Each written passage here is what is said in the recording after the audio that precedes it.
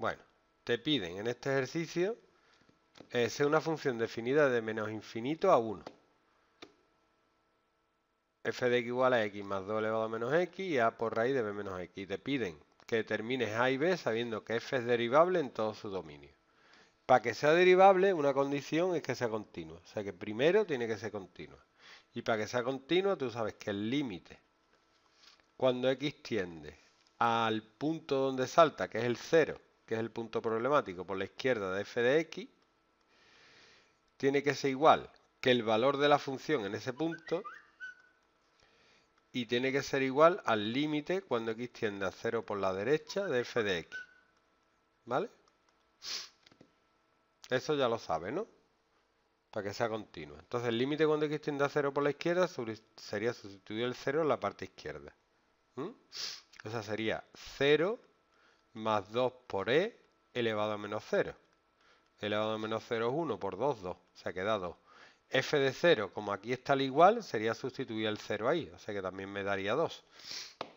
Y por la derecha sería sustituir el 0 en la parte derecha. Es decir, a por raíz de b menos 0, que es b. ¿Mm? Entonces, para que sea continua, se tiene que dar que estos dos son iguales, 2 con 2, a por raíz de b tiene que ser 2. ¿Vale? Ahora vamos con la derivabilidad. Para que sea derivable,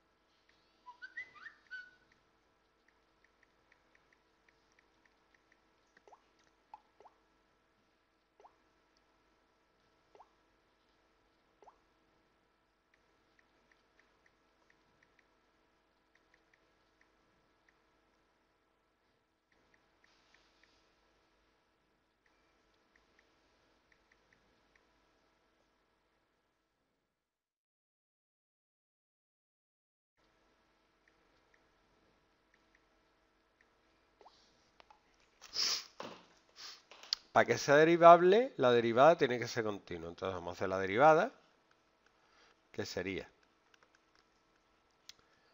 1 más la derivada de 2, elevado de 2 por elevado a menos x es 2 por elevado a menos x por menos 1. ¿Vale?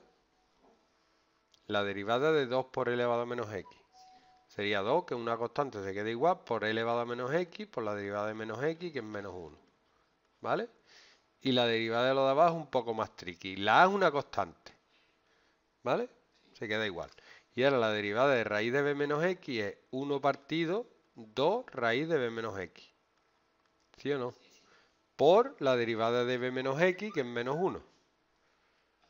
¿Vale? Entonces te queda un menos aquí arriba. Poniéndola bonita. O lo más bonita posible. Sería 1 menos 2 por elevado a menos x.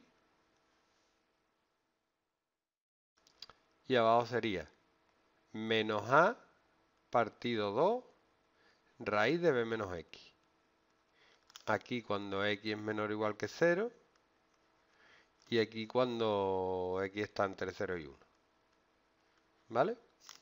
Para que sea derivable, tiene que ser igual que continua. Así, la derivada por la izquierda que la derivada por la derecha igual que la derivada en el punto. Es decir, límite cuando x tiende a 0 por la izquierda de f' de x tiene que ser igual que f' de 0, que me va a salir igual que uno de los otros dos, y tiene que ser igual límite cuando x tiende a 0 por la derecha de la derivada. Y es lo mismo, solo que es la derivada. Sustituye el 0 por la izquierda, que sería 1 menos 2 por elevado a menos 0, que esto sería 1 menos 2 por elevado a 0, que es 1, menos 1. ¿Vale? f' de 0 sería sustituir el 0, también te va a dar menos 1. Y por la derecha sería sustituir el 0 aquí. Sería menos a partido 2 raíz de b menos 0. ¿Vale?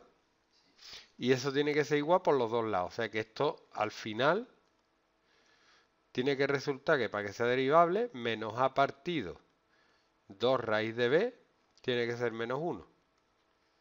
¿Ok? Claro, entonces tiene aquí dos ecuaciones, tienes esta y esta. ¿Y qué hacemos con esas dos? Pues hacemos un sistema. Me queda, por un lado, a raíz de b igual a 2. Y por otro, el menos me lo puedo quitar de en medio, a igual a 2 raíz de b.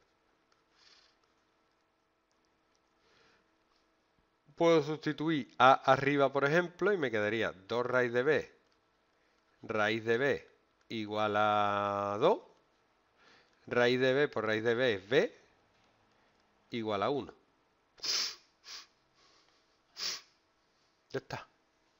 Entonces b tiene que valer 1 y a tiene que valer 2. 2 por raíz de 1, 2. ¿Vale? Venga, otro. No, no, si no lo